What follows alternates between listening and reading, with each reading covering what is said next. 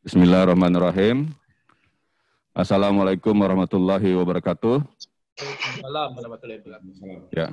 Alhamdulillah rabbil alamin Allahumma shalli ala sayyidina Muhammad wa ala alihi wa ashabihi wa umatihi wa juriyatihi ajmain. Uh, pertama yang kami hormati hari ini sudah hadir uh, Kepala Dinas uh, Kesehatan Kota Banjarbaru, kemudian Kepala Dinas Kominfo Kota Banjarbaru, uh, yang kami hormati Kabak Humas Protokol uh, Pemerintah Kota Banjarbaru, tentu yang ulun sayangi rekan-rekan media yang hari ini berhadir secara virtual mengikuti Zoom meeting terkait dengan uh, kondisi terakhir uh, para pejabat di lingkungan pemerintah Kota Banjarbaru dan langkah-langkah yang akan kita ambil dan sudah kita ambil beberapa hari uh, belakangan ini dan beberapa hari ke depan. Pertama, izinkan ulun atas nama pribadi dan pemerintah Kota Banjarbaru mengucapkan kepada pian-pian seberatan selamat Hari Raya Idul Adha 1441 Hijriah. Mohon maaf lahir dan batin. Tentu mudah-mudahan hikmah Idul Adha akan membuat kita menjadi hamba Allah yang sabar, Amin. yang ikhlas, kemudian peduli uh, kepada sesama dan lingkungan di sekitar kita, dan tentu sebagai hikmah dari kejadian uh, penyembelihan kurban yang Allah perintahkan kepada Nabi Ibrahim alaihissalam adalah bertambahnya iman tauhid kita kepada Allah Subhanahu wa taala. Tentu uh, pertama-tama tentu ulun mendoakan kepada kita semua Allah karuniakan segala nikmat kebaikan dunia akhirat kepada kita semua dan tentu nikmat yang sangat luar biasa pada pada hari ini pada saat sekarang adalah nikmat kesehatan. Selain sehat, tentu kita juga berharap Allah karuniakan ke kekuatan kepada kita semua. Terus tentu kita harus tetap semangat. Tetap semangat menjalankan aktivitas sesuai bidang tugas kita masing-masing yang Mudah-mudahan insya Allah bermanfaat bagi orang banyak dan membantu memperbaiki kondisi pada saat ini di mana kita sedang mengalami cobaan dengan diturunkannya wabah COVID-19 ini di kota kita, di benua kita, di negara kita, dan di seluruh dunia.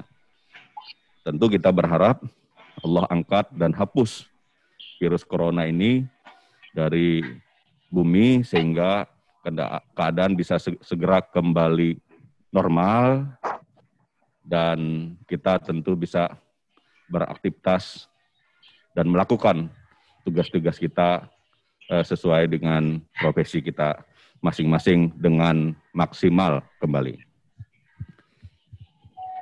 Berkaitan dengan penanganan dan penanggulangan COVID-19 di Kota Banjarbaru, memang angka-angka uh, yang terkena terpapar COVID-19 kita lihat memang terus bertambah.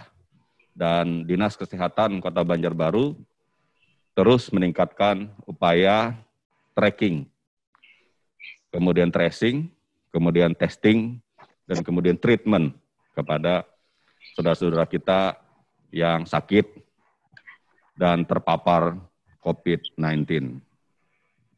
Kemudian eh, sehubungan beberapa kasus terkor, kor, terkonfirmasi positif COVID-19 tersebut eh, terdapat beberapa nama pejabat di lingkungan pemerintah Kota Banjarbaru.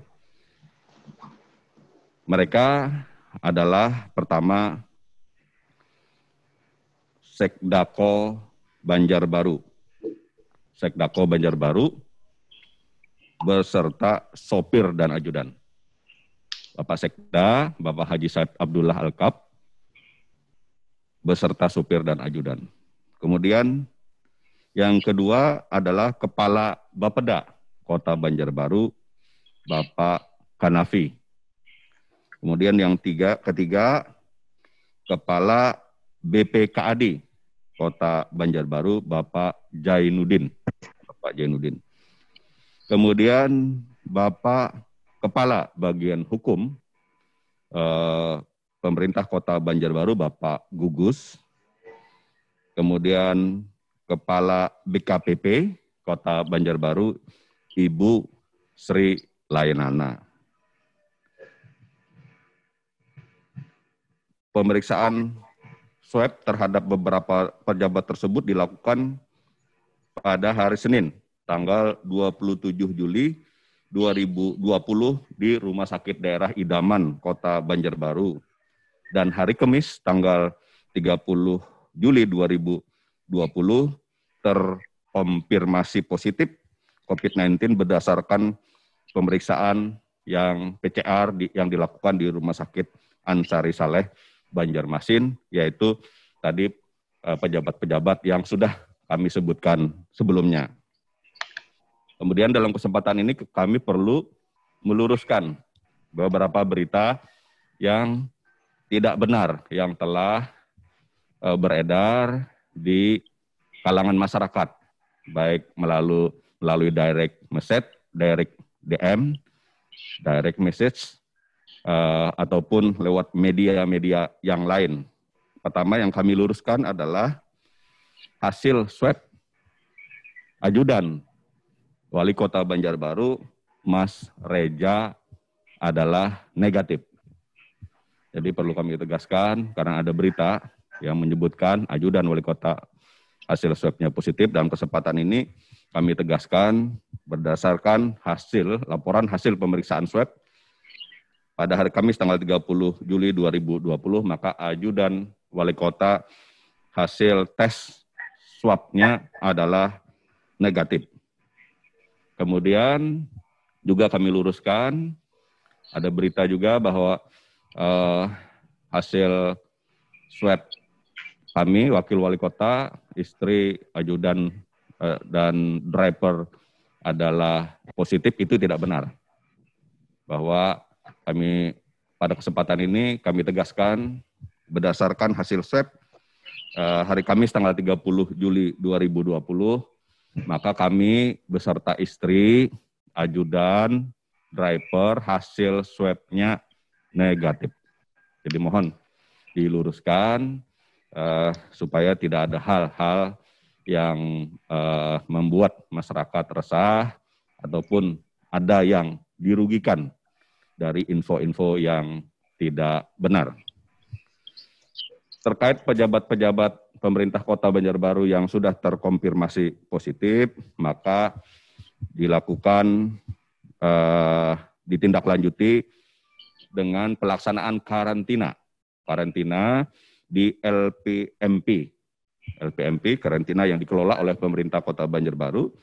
Dan kemudian ada juga yang melaksanakan isolasi mandiri di rumah dengan protokol kesehatan di bawah pengawasan dari Dinas Kesehatan uh, Kota Banjarbaru. Dan kami mendapat laporan dari uh, Kepala Dinas Kesehatan Kota Banjarbaru bahwa uh, kondisi pejabat-pejabat kita tadi dalam keadaan stabil dan tanpa gejala klinis. Jadi mungkin uh, bisa diistilahkan sebagai OTG, orang tanpa gejala. Kami uh, memantau juga kegiatan mereka di LPMP berjalan dengan baik, pelayanan sangat baik, mereka melakukan aktivitas, olahraga, dan lain-lain yang tujuannya untuk meningkatkan uh, imunitas tubuh. Kemudian mengenai uh, bagaimana mereka bisa terpapar para pejabat kita tadi, beberapa pejabat kita tadi, tentu ini juga uh, bisa jadi karena padatnya aktivitas sehingga berinteraksi dengan banyak orang. Kemudian kami juga meminta Dinas Kesehatan untuk lebih dalam lagi memeriksa riwayat eh, kontak erat para pejabat kita tadi dan melihat kemungkinan dari mana terpaparnya dengan melihat riwayat aktivitas yang mungkin uh, yang dilakukan bersama bersama oleh pejabat-pejabat kita tadi maupun riwayat perjalanan yang dilakukan secara bersama kontak erat yang memungkinkan terjadinya uh, penularan COVID-19 di kalangan para pejabat pemerintah kota Banjarbaru. Nanti teknisnya sudah saya perintahkan kepada Kepala Dinas Kesehatan untuk men-tracing hal ini sehingga kegunaannya kita dapat uh, melakukan usaha preventif agar tidak terjadi penularan yang lebih luas. Kemudian uh, sejak minggu yang lalu, uh, ketika Pak Wali sudah uh, mendapatkan hasil tes swab dan dinyatakan positif, maka Dinas Kesehatan dan Puskesmas sudah melakukan tracing-tracing baik di lingkungan Sekretariat Daerah, DPRD, Rumah Dinas, dan beberapa SKPD uh, yang uh, di lingkungan para pejabat-pejabat yang sudah dinyatakan positif terpapar COVID-19. Dan kami dapat laporkan juga sebenarnya BPBD secara rutin sudah melakukan sterilisasi di lingkungan pemerintah kota Banjarbaru. Dan sterilisasi juga eh, disinfeksi ini juga dilakukan secara mandiri oleh SKPD unit-unit layanan kecamatan kelurahan yang ada di kota Banjarbaru. Diharapkan langkah-langkah ini tentu salah satu bagian dari uh, usaha kita untuk menekan penyebaran COVID-19 di lingkungan kantor pemerintah kota Banjarbaru. Uh, swab sejak Pak Wali dinyatakan positif sudah dilakukan terhadap mungkin uh, terhadap uh, sekian orang yang ada kontak erat. Jadi sudah dari minggu yang lalu sudah ada pelaksanaan swab uh, oleh Dinas Kesehatan maupun yang dilaksanakan di Rumah Sakit Daerah Idaman. Bahkan hari ini pun uh, informasi uh, dari Dinas Kesehatan juga dilaksanakan swab terkait dengan tracking dan tracing pejabat-pejabat kita yang terpapar COVID-19 ataupun terkait hasil tracking dan tracing di lingkungan masyarakat Kota Banjarbaru. Kemudian untuk kebijakan kerja ke depannya, jadi pada kesempatan ini kami sekalian mengumumkan kepada masyarakat dan mohon permohon dan permohonan maaf bahwa eh, kegiatan pelayanan kami kepada masyarakat Banjarbaru ini eh, tidak dapat dilaksanakan atau eh, terganggu pada tanggal 3 dan 4 Agustus 2020 hari Senin dan hari Selasa. Senin dan Selasa itu digunakan untuk kegiatan sterilisasi, disinfeksi eh, seluruh Eh, kantor-kantor, unit-unit pelayanan, unit-unit pelayanan di lingkup pemerintah Kota Banjarbaru. Hari Senin eh, dan Selasa itu digunakan oleh para pegawai dengan jumlah yang terbatas, hanya 30 persen untuk melakukan gotong royong, tentu di bawah, tentu juga dengan dukungan dari personel BPBD dan di bawah koordinasi dengan BPBD Kota Banjarbaru. Diharapkan dua hari itu cukup waktu untuk melakukan sterilisasi dan disinfeksi seluruh eh, kantor-kantor SKPD dan unit layanan di lingkup pemerintah Kota Banjarbaru. Dan terhitung tanggal 5 Agustus 2020, hari Rabunya, sampai dengan 31 sampai dengan 31 Agustus 2020 pemerintah Banjarbaru menerapkan sistem 50 persen work from office WFO work from office dan 50 persennya adalah work from home WFH sampai dengan 31 Agustus dan kemudian nanti uh, dilakukan evaluasi apakah uh, kebijakan ini perlu uh, penyesuaian kembali. Mudah-mudahan dalam rentang waktu itu keadaan uh, sudah membaik dan mudah-mudahan juga dalam rentang waktu itu para Pak Wali, Bu Wali, para pejabat di lingkungan pemerintah Kota Banjarbaru yang terpapar COVID-19 sudah sembuh kembali dan bisa beraktivitas kembali seperti biasa. Untuk kondisi wali kota saat ini, beliau dalam kondisi yang dapat kami katakan uh, membaik dan uh, beberapa hari ini memang ada uh, komunikasi uh, dengan uh, beliau yang tujuan utamanya tentu adalah untuk menyemangati dan mendoakan beliau beserta istri agar uh, cepat sembuh, cepat sehat kembali dan bisa beraktivitas bersama-sama kita kembali untuk me melakukan kegiatan-kegiatan dan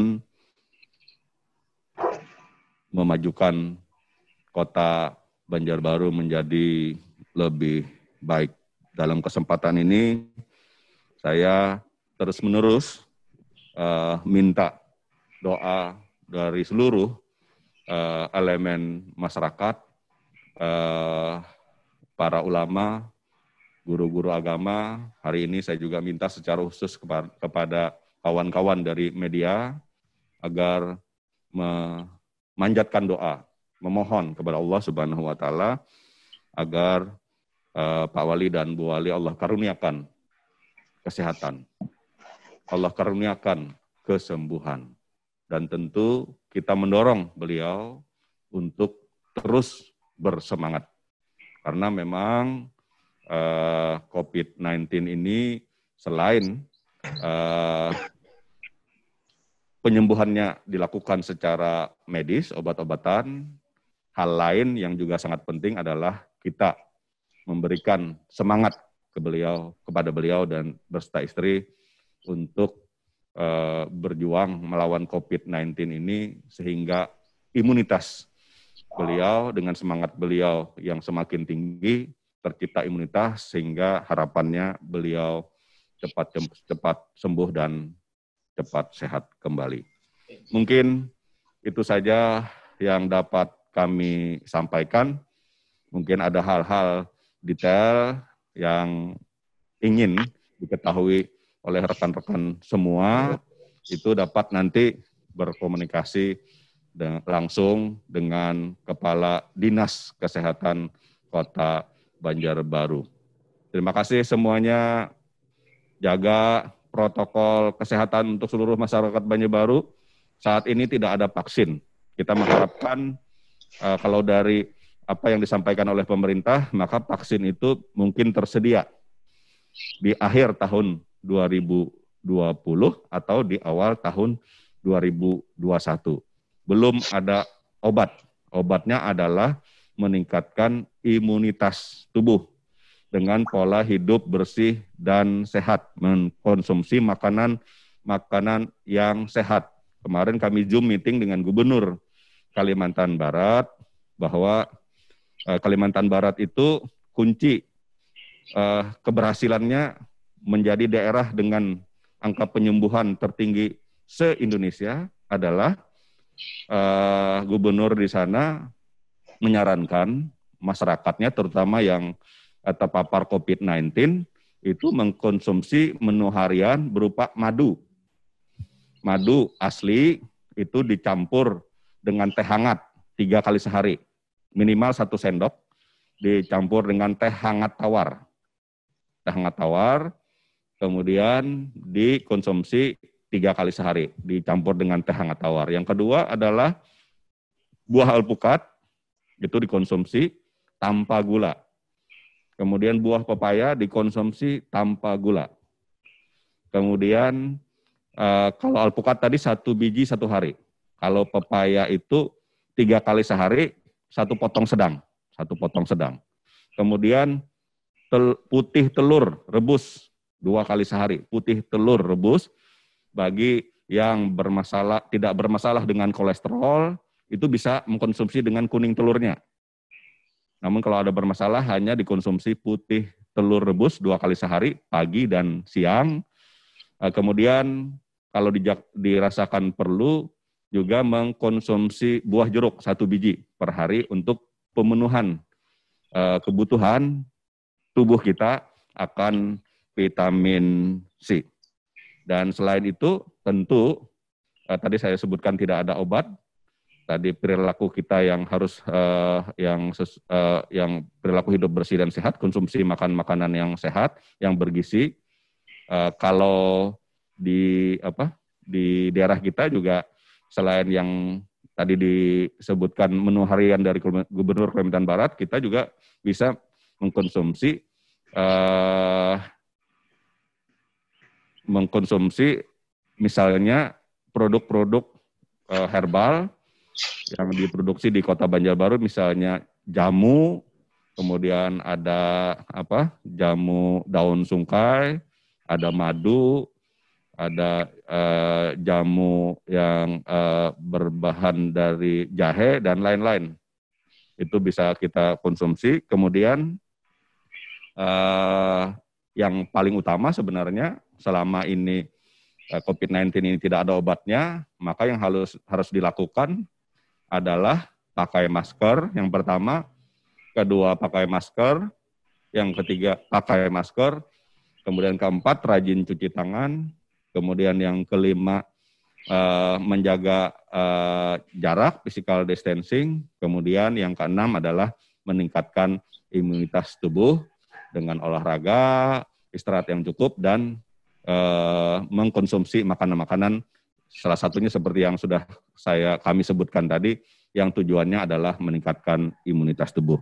Mungkin itu yang dapat kami sampaikan. Sekali lagi, uh, kami mendoakan Bapak Ibu semua, Kadinkes, Kadiskominfo, Kabak Humas Protokol, dan seluruh rekan-rekan media, uh, supaya uh, selalu dalam keadaan sehat, uh, terus semangat dan selalu tentu dalam uh, perlindungan Allah Subhanahu wa taala, pian-pian seberataan beserta keluarga. Ingat kata Pak Wali, pian jangan garing. Pian jangan garing karena eh, masing-masing dari pian bisa berkontribusi untuk berkontribusi positif untuk kita melawan COVID-19 ini. Mungkin itu saja yang dapat Ulun sampaikan terima kasih sekali lagi atas perhatian uh, seluruh yang hadir pada Zoom meeting sore hari ini. Uh, dan saya tutup dengan ucapan wabillahi taufik wal hidayah wal ridho wal inayah. Assalamualaikum warahmatullahi wabarakatuh. Silahkan kawan-kawan, di sini masih ada Pak Rijana sama Pak Jai. Pak oh. Jai, Pak J. Ya. Ya. Ah, ya Pak J, oke. Okay. Siap, siap, siap. Uh, tanya jawab dengan Kadinkes lawan Pak J. Mana yang mau ditanyakan? Kami persilakan untuk sesi pertama tiga orang dulu. Angkat tangan. Ulun, ulun, ulun. JP, JP, Pak Kabak. Ulun dulu. Ulun ya, singkat. Ajar, ajarin dulu, ajarin dulu. Ulun ya. singkat. Yang untuk hari Senin dan Selasa itu khusus uh, pelayanan umum atau puskesmas pelayanan kesehatan? Hari Senin dan hari Selasa sesuai dengan surat edaran dari Wakil Wali Kota, uh, pelayanan pelayanan publik khususnya pelayanan kesehatan eh, kami juga meminta eh, kepada kawan-kawan di puskesmas tetap buka, tetapi untuk eh, eh, bersih-bersih atau disinfektan di lingkungan kerjanya masing-masing. Ya, jadi mereka tetap turun, tetapi pelayanan sementara kita tutup dulu dua hari itu. Ya, karena terus terang aja kawan-kawan di puskesmas itu sangat riskan sekali. Ya, jadi perlu eh, ada disinfektan ruangan selama dua hari itu dan insya Allah nanti di hari ketiga hari Rabu mungkin eh, bisa buka kembali. Eh, tadi maksudnya eh, dinas-dinas lain bang ya pak? Dinas-dinas yang di luar Pemko, di luar sekretariat. Sesuai surat surat edaran dari apa? Dari wakil wali kota eh, pelayanan publik dua hari itu eh, saya tidak tahu itu dari dari BKPP ya suratnya kayaknya itu eh, sementara pelayanan mm, ditutup ya dua hari itu. Enggak, maksud lu dinas lain kayak anggaplah Perkim atau dis apa eh di Perindak atau apa itu tetap buka lah. Tutup, Termasuk tutup. Tutup. Tutup, tutup, tutup. Anu BPPD akan melakukan sterilisasi ke ke semua kantor-kantor pelayanan publik tersebut. Jadi Siap, tidak siap. hanya lengkap yang balai kota aja Pak Lah. Tidak semua semua SKPD. Ya karena kalau kita lihat sekarang ini terjadi klaster-klaster di kantor-kantor ya, bukan hanya di kita Banjarbaru ya.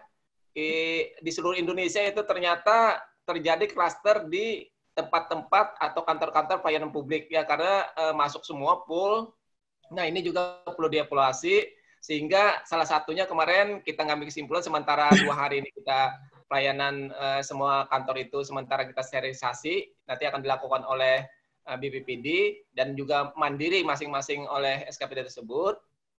Kemudian juga eh, WFH juga akan dijalankan mulai hari Rabu ya kalau nggak salah tanggal 5. Itu surat yang saya baca ya kemarin dari eh, kalau nggak salah dari SKPD. Cek, cek. Berarti sekretariat Jadi, Rudi, Rudi. Ulun tambahkan bahwa untuk tanggal 3 dan tanggal 4 itu sesuai surat 30% karyawan tetap masuk menyimpuni komputer apa ditutupi lah sekira kada kena semprot seperti biasa. Tapi bukan Dan untuk Untuk Wilayah. pelayanannya karena peralatan-peralatan ini bakal di steril dan di off kan agak terganggu lah pelayanan. Mungkin yang Rudi, Rudi Kabak Humas. Izin. sifatnya apa gampang pelayanannya bisa di- dilaksanakan. Cuma yang jelas tanggal 3 dan 4 itu akan dilaksanakan eh, penyemprotan di setiap SKPD. Izin, Rudi Kabak Silakan Mas Humas. Rudi. Ulun ulun Pak Bila apa kabar? Ya, buat eh, ini bagaimana soal para petugas seperti petugas kebersihan yang bekerja sehari-hari apakah juga di stop untuk layanan eh, membersihkan di beberapa wilayah di Banjarbaru? Itu aja. Terima kasih. Kalau petugas kebersihan dan petugas-petugas lapangan, saya pikir eh, tetap ya, tetap bekerja. Jadi tidak off. Ini yang yang yang orang kantoran yang off ini. JP Pak Kabak izin. JP JP Pak Kabak. Mana kardemuhannya JP? Nah izin Pak Kabak nih pertanyaannya umum aja mungkin lah buat Pak Kabak, Pak Jai, ini dan Pak Kadinkes. Ini kan lima pejabat yang ikut positif nih. Eh, ke depan siapa yang akan menggantikan mereka? Mungkin kan mereka karantina hampir dua pekan. Lalu apakah eh, pegawai di bawahnya juga akan di rapid test lah minimal? Izin itu aja mungkin Pak Kabak. Oke, eh, untuk sekretaris dan lain-lainnya ditunjuk PLT-nya secara apa PLH ya, secara kedinasan sesuai aturan apabila ada berhalangan secara tetap apalagi kondisi apa wabah seperti ini dan pejabat-pejabat tersebut harus menjalani proses kesehatan maka ditunjuk PLH. Nah, untuk PLH Sekda asisten satu, kemudian nanti secara berantai pejabat-pejabat yang lain akan menunjuk sekretaris biasanya untuk menjadi PLH-nya. Jadi diharapkan tidak terganggu proses administrasi. Izin Pak Kabak. Kemudian untuk eh, swab lanjutan para eh, kontak erat ya bahasa Pak Wakil tadi ya bahasa Pak Rijan ini kontak erat dan itu ada ketentuannya di di, di Pak Rijan nanti yang jelaskan. Terus nih dinas kesehatan melaksanakan tracking dan tracing siapa saja yang pernah kontak erat dengan pejabat-pejabat yang terpapar tersebut. Dan ini sedang berjalan. Dan ini sedang berjalan. Bahkan hari ini pun tadi di di di depan apa dinas kesehatan dilaksanakan hal tersebut. Mungkin Pak Rejana bisa nambahkan Pak untuk tracing dan tracking. Terima kasih, uh, Kabak Humas. Uh, jadi berkaitan dengan adanya beberapa pejabat kita yang terpapar atau terkonfirmasi positif ini, uh, pihak kami, uh, Dinas Kesehatan, khususnya Puskesmas ya, yang wilayah berkaitan dengan di sekitar tempat uh, kerja yang bersangkutan telah melakukan uh, tracking ya atau penelusuran uh, penyelidikan terhadap Eh, kontak-kontak yang bersangkutan. Nah, jadi di sini uh, mengenai kontak ini perlu kami jelaskan uh, di dalam protokol uh, penanganan COVID ini ya, yang revisi 5 yang terakhir itu tidak semua orang yang kontak itu harus di uh, swab atau rapid. Ya, ini ada durasinya juga, durasinya ya ketemunya, kemudian juga tempatnya bagaimana, kontaknya juga bagaimana. Nah, jadi ini perlu kita sampaikan juga karena banyak kawan-kawan yang resah ya baru ketemu sebentar oh saya kemarin ketemu katanya ketemu anu nah, ketemu itu juga kalau dia pakai makanya kita setiap kali itu menyampaikan uh, pakailah selalu masker ya jaga jarak. Nah itu fungsinya ya. Nah jadi di sini uh, kita uh, tetap memantau uh, beberapa catatan sudah ada diperoleh kawan-kawan. Kemudian kita menyampaikan juga kepada kawan-kawan uh, khususnya di Setdako apa BK BPKD dan Bapeda ya yang pimpinan-pimpinannya yang kami masih positif apabila ada pegawainya yang ada misalnya demam atau ada batuk dan sebagainya lebih baik tidak usah turun ke kantor dulu dan segera ke fasilitas pelayanan kesehatan yang terdekat ya. Nah itu kayak kita. Kemudian yang kontak-kontak erat ini khususnya yang melakukan rapat di ruangan tertutup dan durasi lama sampai dua jam. Nah itulah yang salah satunya tadi kami sudah lakukan uh, swab. Nah, jadi ke depannya memang dengan revisi 5 ini kita mengedepankan swab. Rapid itu uh, agak uh, kita kurangi ya uh, oleh pemerintah karena banyak rapid yang hasilnya negatif palsu ya. Ada beberapa kawan kemarin di rumah sakit juga tenaga medis yang tiga kali rapid rapidnya hasilnya non reaktif. Ternyata setelah di swab yang bersangkutan adalah positif. Nah, jadi kita sekarang lebih mengedepankan swab, tetapi dengan catatan yang suspek, yang kontak erat dan bergejala. Nah, itu yang disyaratkan oleh BPTKL yang melakukan pemeriksaan. Apa? Naposaring